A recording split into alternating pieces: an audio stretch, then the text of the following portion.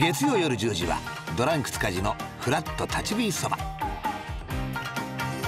今回はサブカルチャーの街東京秋葉原。わなんかちょっとイメージとは違った感じのお店が。出会ったのは割り箸の奥深き世界。両細という形になるんです。はい。片方をご自分がお使いになって、はい。天の部分はへえ俺もうどっちからでも食べていいんやと思ってましたね。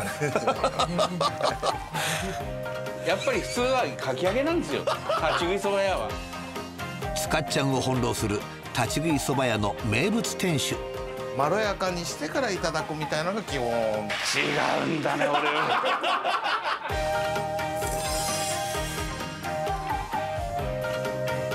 いい顔しますね